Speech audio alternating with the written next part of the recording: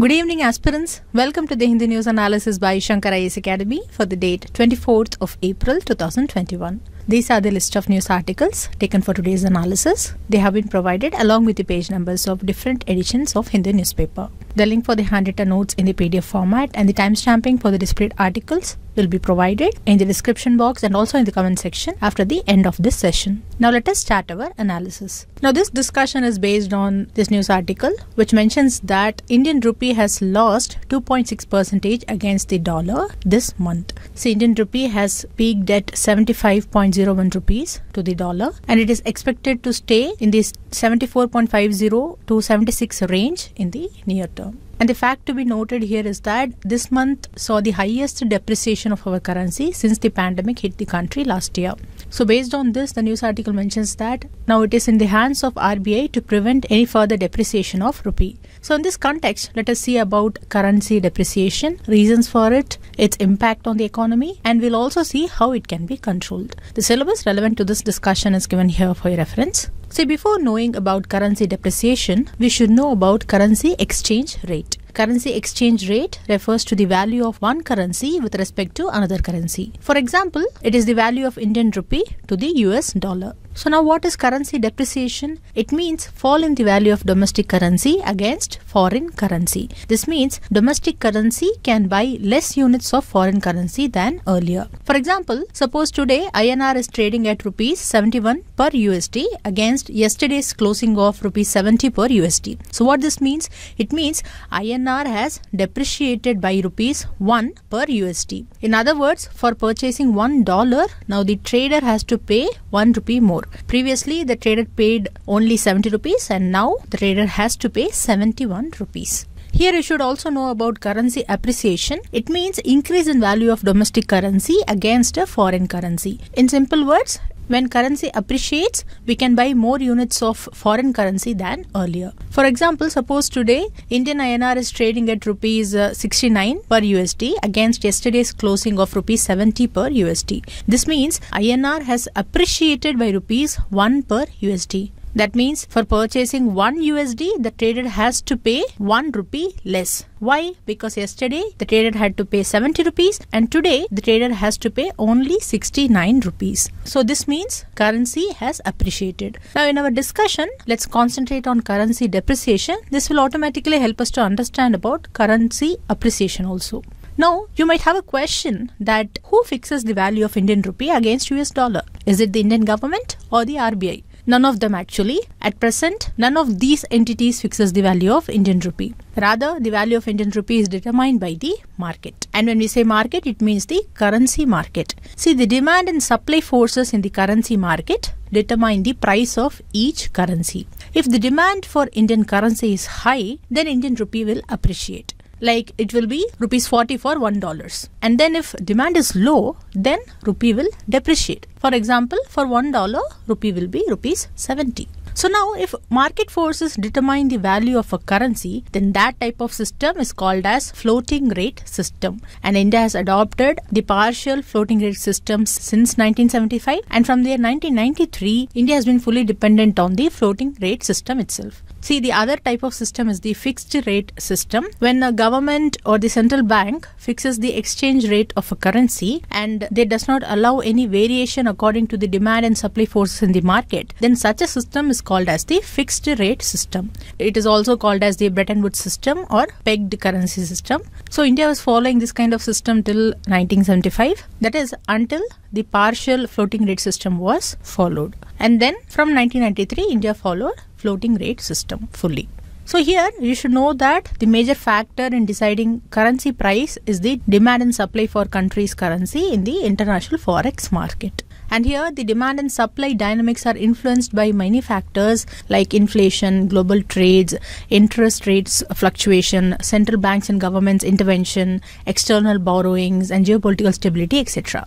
Apart from these, the level of confidence in the economy of a particular country also influences the currency of that country. So now let us understand some of these factors deeply. Now, first factor is when inflation takes place in the economy. At this time, the Indian commodities become more expensive and therefore they become less competitive. Hence, the demand for Indian exports will decline, and this will adversely impact the demand of Indian rupee in the foreign exchange market. Additionally, the Indian consumers would find foreign goods more attractive because they would be cheaper, and hence the demand for foreign currencies in the foreign exchange market would go up.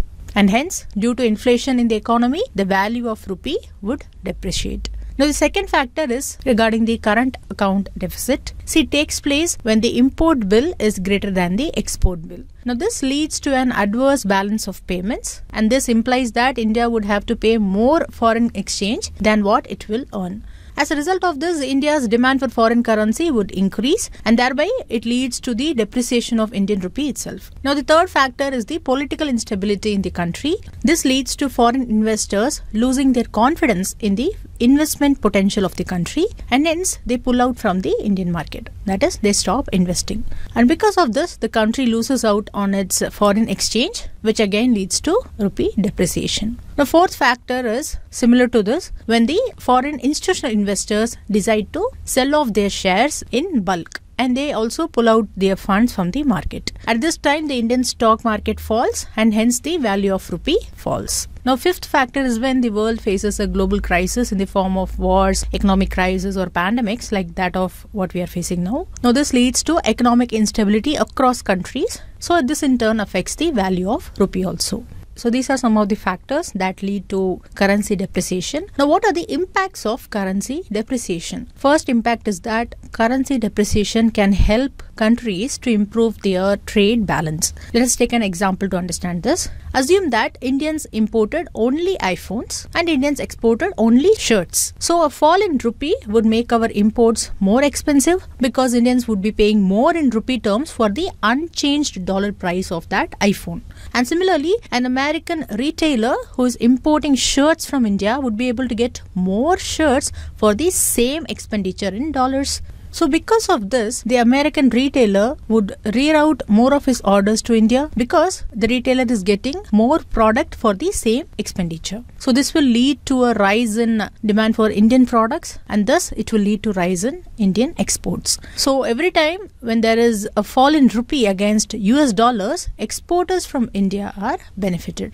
But on the other hand, Indian importers are adversely affected. For example, a large proportion of India's imports are composed of oil and gold. As much as 35% of India's import bill is owed to oil from the Middle East itself. So when the value of rupee falls, the import of oil also goes up for the general public in India. Now, other than this, there is another negative impact of currency depreciation, which is that there will be more burden on the government with respect to subsidies. Then another negative impact is that when imports become expensive and exports become cheaper, the gap in the balance of payments increases. So this widens the capital account deficit. But other than these negative impacts, depreciation has other advantages. Mainly it benefits NRIs.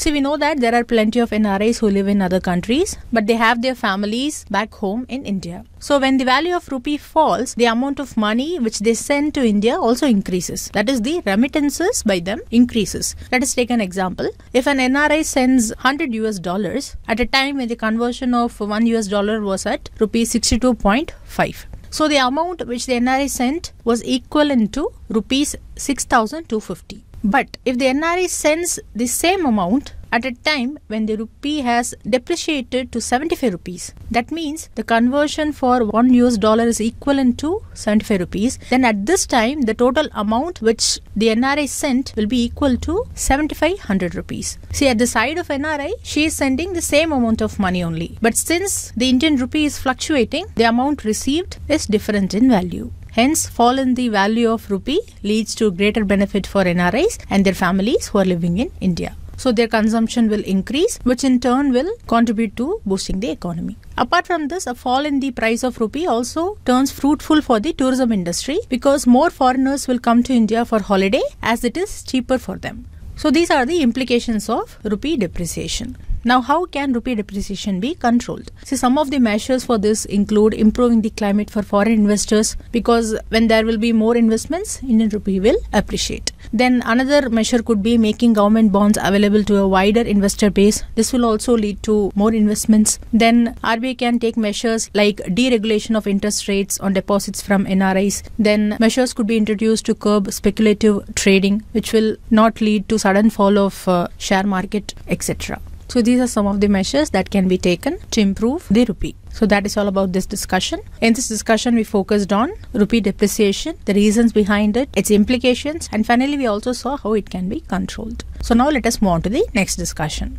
This discussion is based on these two news articles which talk about the reopening of Vedanta's Sterlite copper plant in Tamil Nadu. See, the Tamil Nadu government was asked by the central government to reopen this plant for producing medical oxygen. But Tamil Nadu objected to this. So, this news article mentions that the Chief Justice of India has pushed for the reopening of this plant for producing medical oxygen. And this news article talks about the reaction of the public on this matter. So, in today's discussion, let us see this issue in detail.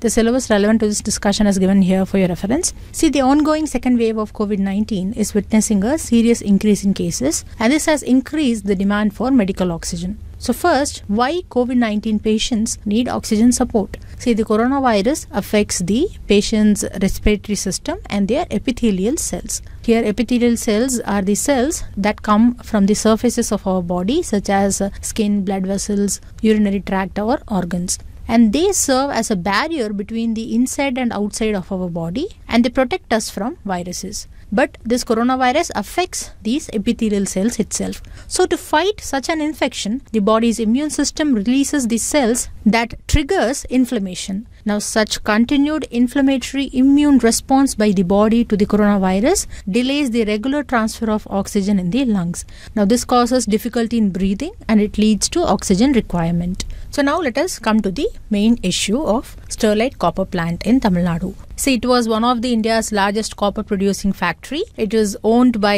England based company called Vedanta Limited. And in Tamil Nadu, this plant is situated in the Tuticorin district. But this project was shut down in the year 2018. So, why was it shut down? See, the project had been facing opposition for nearly two decades due to its environmental concerns. But the opposition to this plant intensified when the company announced the expansion of this plant to double its annual production from 0.4 million tons to 0.8 million tons. And this announcement caused widespread uh, protests that resulted in police crackdown where 13 people were killed in police firing. So following this mishappening, the electricity and water supply to the plant was disconnected. And then the plant was sealed and its permanent closure was announced by the district collector in May 2018 and this particular decision was taken based on an order by the Tamil Nadu Pollution Control Board. And this board blamed Sterlite copper plant for causing groundwater pollution and also based on the widespread protest by the people.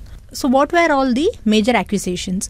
See one of the major accusation is that the smelter was polluting groundwater and this affected the health and environment of nearby residents. See, remember, copper smelting causes air pollution, water pollution, and land pollution. This is because the smelting process releases sulfur dioxide gas in the air, and this causes respiratory ailments. And this process also releases radon, iron, manganese, lead, arsenic, nitrates, and fluorides and these elements reach the water sources and the soil through the industrial slag. See, slag is nothing but the stony waste matter that is separated from metals during the smelting process. So, these elements pollute the water sources and the soil. Now, apart from pollution and the usual contamination in the smelting process, the plant also had seen uh, 27 industrial accidents and gas leaks between the years 1997 to 2013. So, based on these reasons, people were protesting for closing of the plant, and the decision was finally taken by the Tamil Nadu Pollution Control Board, which was finally implemented by the district collector. Now, you may ask why this plant was kept open even though it had these many disadvantages. It is because the plant produced 36% of the copper used in India. So that means the shutdown of the plant has impacted the copper industry of our country and it has also affected many manufacturing industries as well that depend on copper industry. So even though there are such advantages we cannot deny that it has adverse impacts on the health of the people and environment. But how this plant is related to oxygen production see this sterlite copper unit in Thoothukudi of Tamil Nadu has two oxygen producing plants and these oxygen plants were used to support the combustion in the smelter process but this was also closed in May 2018 so what is the present scenario? See, the copper smelter unit and its oxygen plants remain idle since its closure in May 2018. And in the recent times, both the center and the state governments are facing shortages in medical oxygen. So, in this backdrop, the CEO of the Sterlite plant submitted an appeal to the state government, and the CEO sought permission to operate the plant only for oxygen production. The CEO also promised that oxygen will be supplied free of cost and noted that it can supply around 1050 tons of oxygen per day to the hospitals. And this is a huge amount at a time when we are facing oxygen shortages. But Tamil Nadu government did not allow. So the company also approached the Supreme Court with its offer and based on this, the central government supported this move, but this has been opposed by the Tamil Nadu government. Rather, the Tamil Nadu government asked the administration of the district to conduct a public hearing on the issue and to send its report on April 23rd, that is yesterday. This was because Tamil Nadu government wanted to submit an affidavit before the Supreme Court based on the opinions of the public. So, as per the instructions, the district administration invited selected people both in favor of and against the move to resume operations for oxygen production. And in the public hearing, majority of the participants opposed Sterlite's plea for resumption of its operation. They cited that there is no scarcity of uh, medical oxygen in Tamil Nadu and therefore the plant must remain closed. See, this is mainly because the people fear that allowing such operations could eventually lead to full scale resumption of activities at the Sterlite Copper in the future and this notion is also supported by the Tamil Nadu government. But however, Supreme Court and the Chief Justice of India is against this notion because the country is in bad need of oxygen. So the Supreme Court has cited that constitution demands for material resources to be distributed equally throughout the country and thus Tamil Nadu government should resume operations of Sterlite copper plant for oxygen production only. So now let us wait and see what decision is taken by the Tamil Nadu government. So these are some of the points that you should know about this issue regarding Sterlite copper plant in Tamil Nadu. Now let's move on to the next discussion. Our next discussion is based on this news article, which is with reference to heavy rain accompanied by hailstones, which were reported in some parts of Bengaluru. So, in this context, let us have a brief understanding about hailstones and their formation. See, hail is a type of precipitation. Hail is formed when drops of water freeze together in the cold upper regions of thunderstorm clouds. Most hailstones measure between 5 millimeters and 15 centimeter in diameter, and they can be round in shape or even jagged or spiked.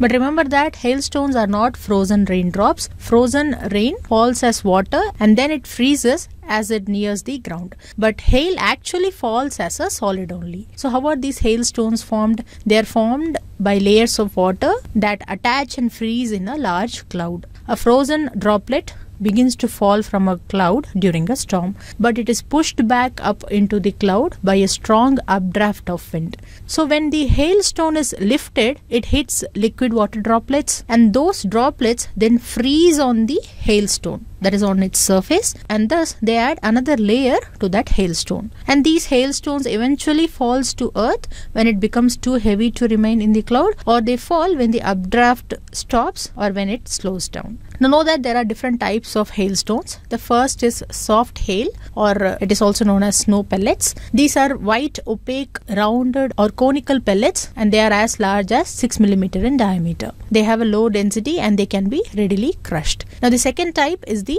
small hail. They are transparent or translucent pellets of ice and they have diameters of a few millimeters. Now the third one is the true hailstone. They are hard pellets of ice and they are larger than 5 millimeter in diameter. Now they may be of different shapes. They often have structures of concentric layers of alternately clear and opaque ice as you can see in this image. And here know that a moderately severe storm may produce hailstones a few centimeters in diameter, whereas a very severe storm may release stones with a maximum diameter of 10 centimeter or more. And know that large damaging hails fall most frequently in the continental areas of middle latitudes uh, like the USA and the northern India, but it is rare in the equatorial region. Now, these hailstones can cause extreme damage to people. It can damage buildings, vehicles, and even crops. So, people have tried many ways to prevent hail. And interestingly, in the 18th century, it is said that Europeans began trying to prevent hail by firing cannons into the clouds and also by ringing church bells. But still, it couldn't be prevented. So, these are the points that you should know about hailstones. Now, let's move on to the next discussion. Our next discussion is based on this news article, which mentions that customs officials at Chennai airport have seized khat leaves that are worth more than 1 crore rupees. And they have seized these leaves under the Narcotic Drugs and Psychotropic Substances Act of uh, 1985. So, first let us see about the khat leaves, then we'll also see about this NDPS Act. See, khat leaves is scientifically known as Catha edulis. It is a stimulant drug that is made from the leaves and twigs of an evergreen shrub. This evergreen shrub is mainly cultivated in East Africa and South Yemen. Now, there are also other names to this khat leaves. They are miraa, khat, or Arabian tea and Abyssinian tea. Now, we saw that khat is a stimulant drug. So, what is a stimulant? Stimulants are a class of drugs that speed up the messages between the brain and the body. They make a person feel more awake, alert, confident, or energetic. And some of the commonly used stimulants are amphetamines, cocaine, nicotine, synthetic cathinone, etc. Now, coming back to khat leaves, now these leaves of this small tree are chewed by millions worldwide as a mild amphetamine like psychostimulant drug. Now, the chewing of these leaves helps achieve a state of euphoria that is extreme happiness and excitement, and it also causes stimulation but in recent years, this has left an impact on the health and social aspects of African countries. See, these leaves are either chewed or even they are dried and used as a tea or uh, they are made into chewable paste or they are sometimes even smoked and sprinkled on food also. And their primary active constituent is uh, cathinone. We saw that cathinone is a stimulant. And then another uh, main stimulant which it contains is cathine. Now we saw that it has impacts on health and social aspects. See, the regular use of this khat leaves results in manic behavior with delusions. Its chronic use can cause uh, depression and suicide tendencies also, along with hallucinations, paranoia, etc. It can also cause increase in blood pressure and increase in heart rate, and it can even cause several cardiac complications. And note that khat leaves are prohibited under the Narcotic Drugs and Psychotropic Substances Act of 1985. It is because, as we just saw, it contains uh, cathinone and cathine. These two are the psychotropic substances prohibited under this act. So these leaves contains uh, these substances, hence it is also banned. So now let us see about the NDPS Act. It is an act to consolidate and amend the laws relating to narcotic drugs and to make stringent provisions for the control and regulation of operations relating to narcotic drugs and psychotropic substances. Now under the act, center may appoint a narcotics commissioner who shall exercise all powers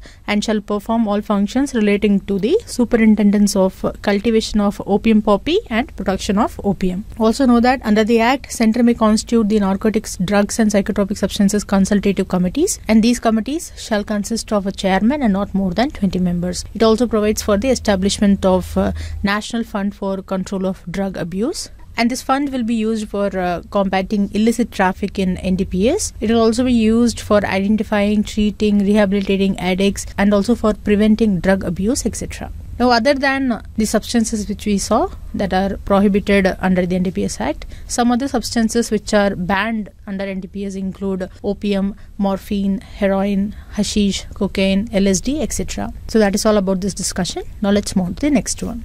Our next discussion is based on this news article which talks about the contributions of a woman in getting the facilities that is needed for a village which is predominantly inhabited by Irula community. So let us see about Irula community today. Irulas are a tribe and they have origin from Southeast Asia and Australia. They speak Irula language that is closely related to Dravidian languages like Kannada and Tamil and they also speak Tamil. And mostly they inhabit in the northern Tamil Nadu and parts of Kerala and Karnataka. Especially in Tamil Nadu, they are majorly found in Chengalpattu district, North Arcot and South Arcot districts, which are not far from the Chennai city.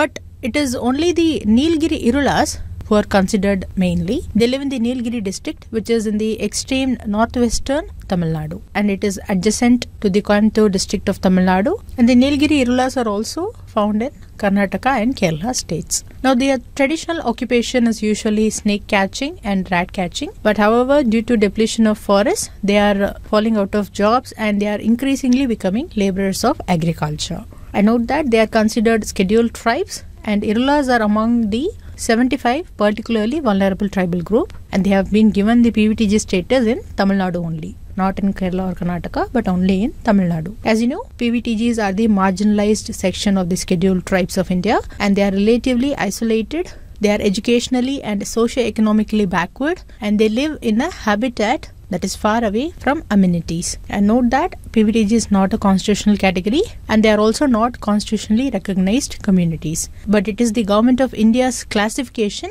which is created with the purpose of enabling improvement in the conditions of certain communities that are with particularly low development. And we also saw about PVTGs on our 20th April discussion. You can view that analysis for knowing about the criterias based on which PVTGs are identified in our country. So these are some of the points that you should know about Irula community. Now let's move on to the next discussion. Our next discussion is based on this editorial article, which is based on Panchayati Raj institutions, and it has been written because April 24th, that is today, is celebrated as the Panchayat Raj Day. So, in this editorial, author talks about the significance of strong local bodies, then issues plaguing the local bodies, and also the solutions for these issues. So, now let us discuss these aspects now. The syllabus relevant to this discussion is given here for your reference. Now, the author of this editorial discusses about a rough timeline of local governance formation. So, according to the author, the Cholas were the pioneers in the formation of local bodies. The Cholas had a well organized hierarchy to oversee the implementation of progressive plans, and the local bodies played a crucial role in the implementation of these plans. And according to the author, in the modern India time period, the Madras Local Boards Act of 1884 paved the way for local bodies formation. See, this act was passed by the Britishers to form local bodies in both small towns and big cities, and they began to appoint members to ensure their better administration. And to certain extent, the local bodies created through this act brought about positive changes in the basic parameters such as health and hygiene. So the local bodies formation went through various ups and downs after that, both in British period as well as in the independent India. The local body struggled to find its proper place. After a lot of hurdles and deliberations, it was only in the 1990s that the Panchayati Raj law came into force with the 73rd Constitutional Amendment Act. See, this Constitution 73rd Amendment Act was passed in the year 1992 and it came into effect on this day in 1993 that is on 24th April 1993 this act empowered the state governments to take the necessary steps that would lead to the formation of the gram panchayats and to help them operate as units of self governance see this act brought massive turning points into our governance because it was the reason for initiation of uh, gram sabhas. It also paved the way for the reservation for the downtrodden sections of people and the reservation for women in local bodies. And it also led to the formation of state election commissions and state finance commissions.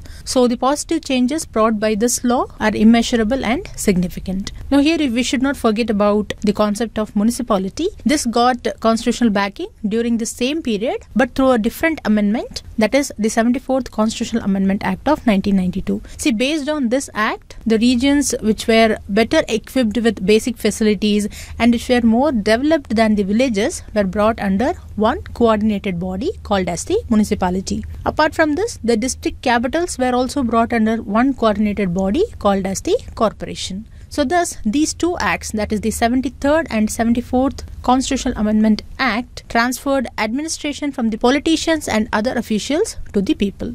So, now what are the merits of these local bodies? See, the local bodies can easily solve the trivial and resolvable issues without the assistance of the state governments or even the central government. So, this saves a lot of time and resources. Also, these local bodies can be convened as and when the necessary arises. So, it helps in the speedy and efficient delivery of services. Then, the local bodies have uh, mainly facilitated and paved the way for decentralization in our country, and this has been done by taking democracy to the grassroots levels by involving people in the decision making about their local problems. Then, these local bodies have also empowered the backward sections of society and even women by stipulating reservations for them in the elected bodies as we already saw. In addition to this, they also bring about transparency and accountability in governance. And finally, the local bodies also give life to the Gandhian principles and vision. See, according to Gandhiji, the voice of the people is the voice of God, the voice of the panchayat is the voice of the people.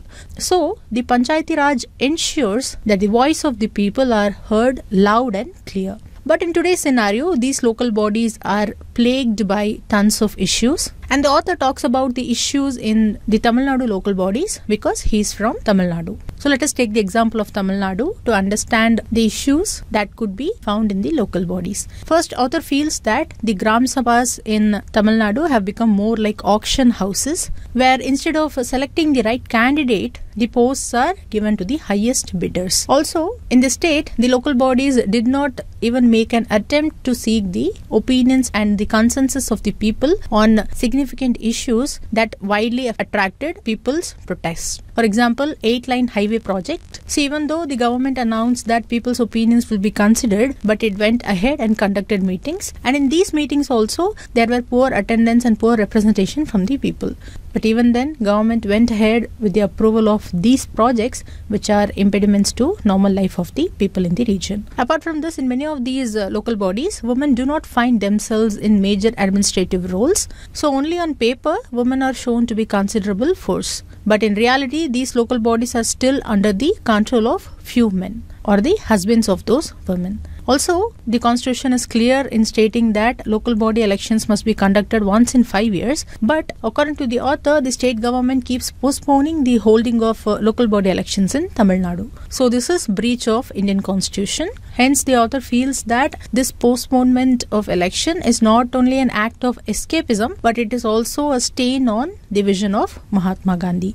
And thus it is because it deprives people of their basic rights. So, what can be done in this regard? Here, author stresses that the above hurdles can be overcome by following Kerala as an example. See, according to the author, the state of Kerala has been properly allocating funds for the local bodies functioning, and by doing so, the state has ensured the efficiency of administration. Additionally, Kerala also makes sure that only the eligible members are appointed for the appropriate posts in the local bodies, and by this, the state has ensured that it has upheld the spirit of democracy and meritocracy. Now, based on this, author has a few suggestions for the state government of Tamil Nadu. We can also consider this as general suggestions. First, the state government of Tamil Nadu needs to take steps to enable the power of administration to panchayats as stated in the constitution. This will only ensure the efficiency of panchayats. Then there is a need to strengthen the gram sabhas and also there is a need to hold area sabhas in cities. See, area sabha means a body of all the persons who are registered as voters in the electoral rolls pertaining to any polling station of that area. Then author suggests forming ward committees, then holding online panchayat meetings. Then he has suggested ensuring decent remuneration to the panchayat chiefs and councillors. And finally, most importantly, he has suggested granting the Gram Sabha with the power to revoke appointed members and representatives. So, all these suggestions will ensure efficient functioning of the local bodies, especially the Gram Sabhas, and this in turn will contribute to the real growth in the state. So, author concludes by saying that we must collectively strengthen the Panchayati Raj system through people's movement. See, here, author believes that the voices of people will play a huge role in resolving governance issues, and these local bodies provide a great platform to hear people's voice. And that is why it is important to strengthen them. So, these are some of the points that you can take note from this editorial article. Now, let's move on to the next discussion. Our next discussion is based on this news article which talks about millets. See, the news is that recently the Karnataka state government has started providing ragi to poor farmers under the public distribution system. And this has been done after cutting the quantum of rice that is provided under PDS system. And it is said that the state government is also planning to include jowar under the public distribution system. So this move has received mixed reactions from the people. Some have appreciated this change because millets are valuable source of nutrition, while others have opposed this move because the government has reduced the quantum of rice. So in this discussion, today let us learn about millets. See, ragi and jowar belong to the category of crops called millets. And when it comes to India, jowar, bajra and ragi are the important millets that are grown in our country. Now the millets are also known as coarse grains they have a very high nutritional value. For example, ragi is very rich in iron, calcium, and other micronutrients. Now, here talking about jowar, it is the third most important food crop with respect to area and production. And this jowar is a rain fed crop that is mostly grown in the moist areas which hardly needs irrigation. Now, major jowar producing states are Maharashtra, Karnataka, Andhra Pradesh, and Madhya Pradesh. Now, you should take note of these points because they are very important from prelims perspective. Now, moving on to Bajra. See, Bajra grows very well on uh, sandy soils and shallow black soil and major bajra producing states are Rajasthan, Uttar Pradesh, Maharashtra, Gujarat and Haryana. Now next comes ragi. Ragi is a crop of dry regions and it grows well on red soil, black soil, sandy, loamy and shallow black soils. Now major ragi producing states are Karnataka, Tamil Nadu, Himachal Pradesh, Uttarakhand, Sikkim, Jharkhand and Arunachal Pradesh. So this was the brief about these three important millets that are grown in our country. See millets are often referred as superfoods because of their nutrition content and its production can be seen as an approach for sustainable growth and a healthy world. Now apart from nutrition it also has multidimensional benefits such as they can address the issues related to nutrition security, food system security and farmers welfare. Further, many unique features linked with millets make them a suitable crop which is resilient to India's varied agroclimatic conditions. Now, citing these factors only, the year 2018 has already been declared as the National Year of Millets, and India has now called for declaring the year 2023 as International Year of Millets. But however, in spite of acknowledging the significance of millets as a superfood, there is a general perception that millets are poor person's food. And because of this many do not include these millets in their diet and they lose these nutritional content. So it is necessary to rebrand the coarse cereals or millets as nutri cereals and it should be promoted for increasing their production and consumption so that is all about millets. Now let's move to the next discussion. Now this discussion is based on this news article which talks about Vilachery clay toys. See the news is that GI tag is sought for this popular Vilachery clay toys and according to officials the application has been received and the scrutiny for providing GI tag will begin soon. So in this slide let us see about GI tag, its significance and also about the clay toys. See, GI tag is nothing but a geographical indication tag. It is a sign that is used on products that have a specific geographical origin. And these products possess the qualities or reputations due to that origin only. Now, this GI tag in India is governed by the Geographical Indications of Goods Registration and Protection Act of 1999 and it is issued by the Geographical Indications Registry that is situated at Chennai. And note that this tag will last up to a term of 10 years only. So, after 10 years it has to be renewed. Now this tag helps in gaining recognition and legal protection for the products. So it helps to boost the sales and exports of such geographically specific products. It also protects counterfeiting of that products because once GI tag is given, those products will come with those GI tag only. And remember that the first GI tagged product in India is Darjeeling tea and it gained its label in 2004 to 2005. So now let us see about Vilachery clay toys. See these clay toys are made in Madurai district of Tamil Nadu. These toys are unique and exclusive combination of terracotta and glazing work that are done on a special clay. Artisans usually get their clay from a tank near Vilachery to make these dolls. Until now, the artisans make these dolls by using the molds, and after that, they will paint these dolls with hand. Now, the current business volume of these toys is found to be around 15 crore rupees. I know that they are also exported to USA, Germany, Malaysia, Singapore, etc. So now geographical indication tag is sought for this Vilachery toys to maintain its uniqueness and to save the business. Now, know that many other toys have got uh, geographical indication in our country, like uh, Channapatna toys and dolls of Karnataka, then Kondapalli Bommalu of Andhra Pradesh, then Nirmal toys and crafts of Telangana, and then uh, we have leather toys of Indore, which has got GI tag. Then even the Tanjavur doll of Tamil Nadu has got GI tag. So that is all you need to know about geographical indications tag. Now let's move on to the next discussion. Our next discussion is about Ways and Means Advances Scheme of RBI, that is the WMA scheme. See, the news is that RBI has decided to continue with the existing interim WMA scheme for all states and UTs till September 2021. So, today, let us first understand about WMA and then we'll see what is the news in detail. The syllabus relevant to this discussion is given here for your reference. See, in order to deal with the COVID 19 pandemic, RBI had come up with several measures and one of them was to review the limits of WMA of states and UTs. So, what is this WMA? It is provided under the RBI Act of 1934. Under the Section 17 Clause 5 of this Act, RBI provides ways and means advances to the states that are banking with it. Now, this is to help those states or UTs to tide over temporary mismatches in the cash flow of their receipts and payments. In simple words, WMA is a facility for both the center and states to borrow from the RBI for meeting temporary cash mismatches. So they are temporary advances. Now, under the Act, such advances are repayable in each case not later than three months from the date of making that advance. That means WMA loans or advances have three month tenure. So, through WMA, RBI acts as the debt manager for state governments since they are intended to provide a cushion to the states to carry on with their essential activities and normal financial operations.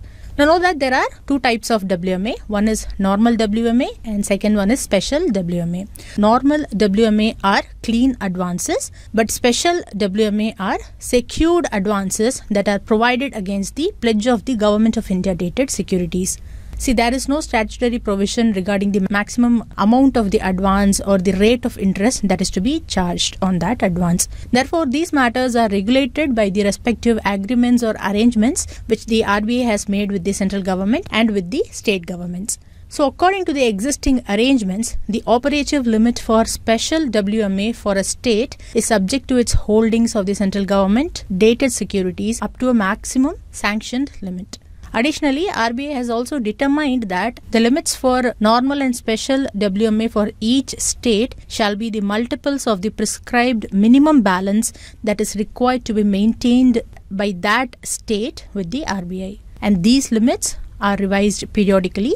And some sources say, according to RBI rules, the normal WMA limits are based on a three year average of a state's actual revenue and capital expenditure. So, now what about the interest rate on WMA? See, as per the existing arrangements, the interest rate on WMA is the RBI's repo rate. As you know, repo rate is basically the rate at which RBI lends short term money to the banks. Here, you should also know about one important thing that is, the governments are also allowed to draw amounts in excess of their WMA limits, and this is called as overdraft. So, the interest on such overdraft is 2 percentage points above the repo rate. So, for example, if the repo rate is 4 percentage, then for overdraft, the interest rate will be 6 percentage.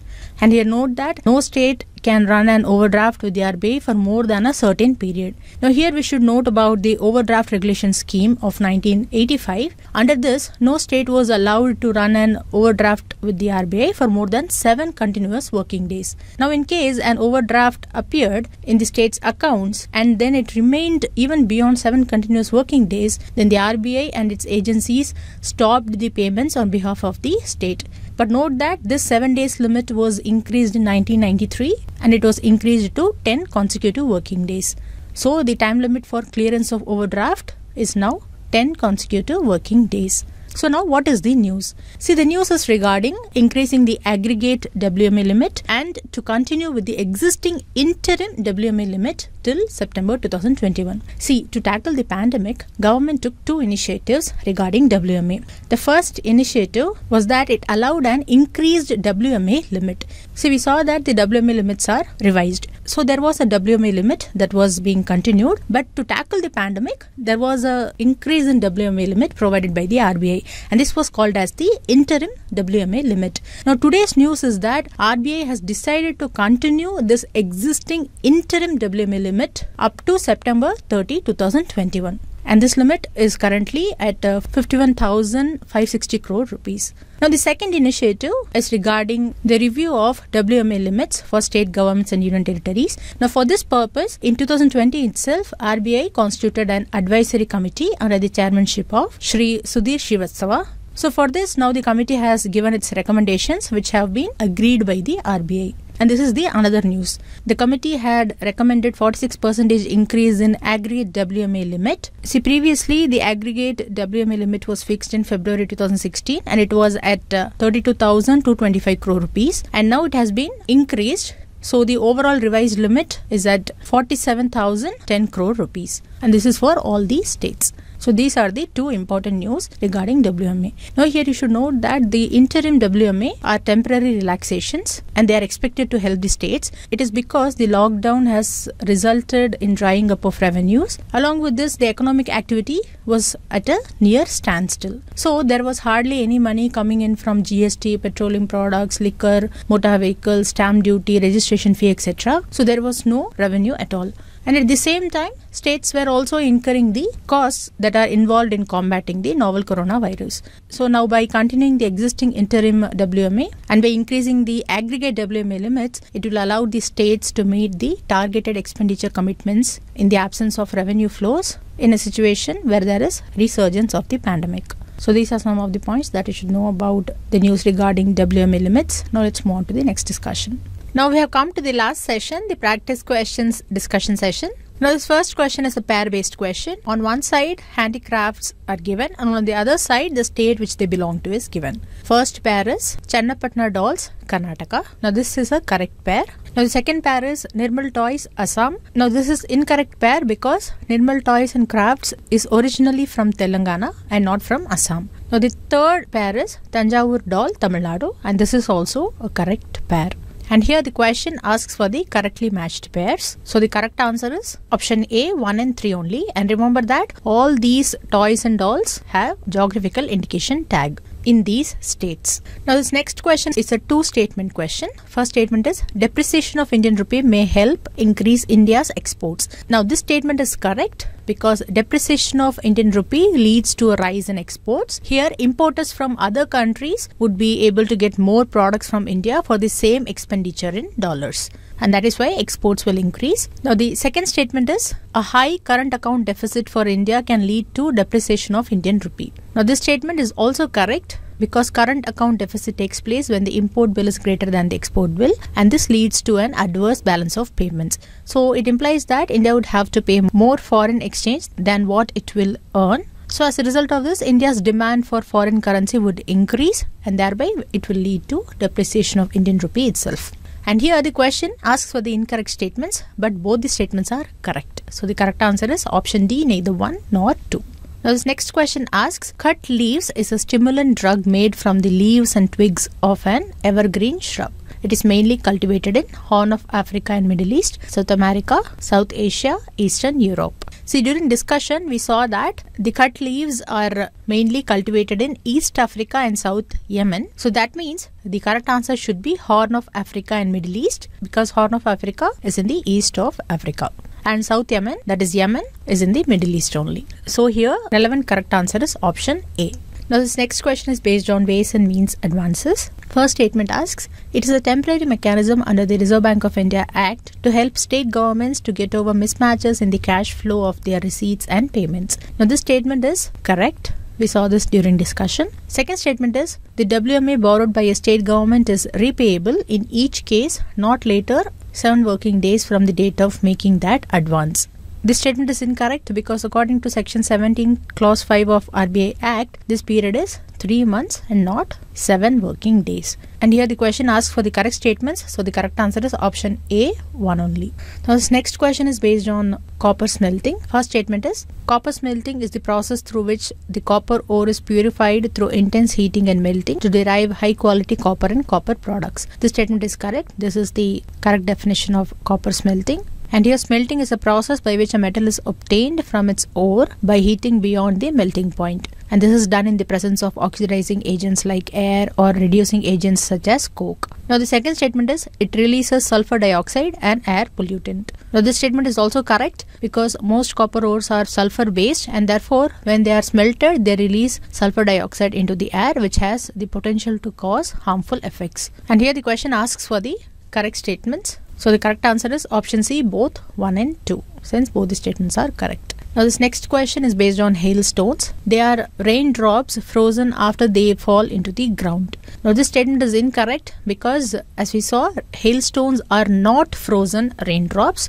because frozen rain falls as water and it freezes as it nears the ground. But hail actually falls as a solid only. Now, the second statement is they are typical in equatorial regions. This statement is also incorrect because large damaging hails fall most frequently in uh, continental areas of middle latitudes like the US and the northern India, but it is rare in equatorial regions. And here the question asks for the correct statements, but both the statements are incorrect. So the correct answer is option D, neither one nor two. Now let us take one mains question based on GS paper 2. This question is about local bodies. You can answer this question in 250 words and post it in the comment section. With this, we have come to the end of today's Hindu news analysis and the practice questions discussion session. If you like the video, don't forget to like, comment and share and do subscribe to Shankar IAS Academy YouTube channel for more updates related to civil service examination preparation.